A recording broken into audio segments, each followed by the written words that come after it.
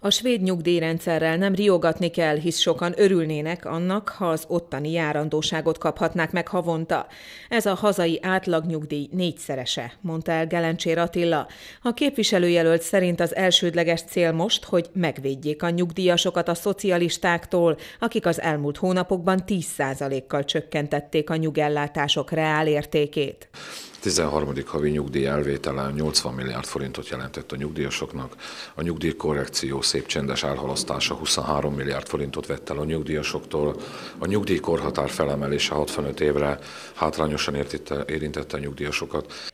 Pap György 75 éves nyugdíjas. Szerinte a nyugdíjas kosár összetételét is rosszul határozzák meg, ha a normál középkorúak átlagát veszik alapul, mert hogy az időskorúaknak extra kiadásaik is vannak. A nyugdíjasok kosarában benne van a gyógyszer, amelyik eddigi hát, számításaim szerint 5 és 20 ezer forint között mozog.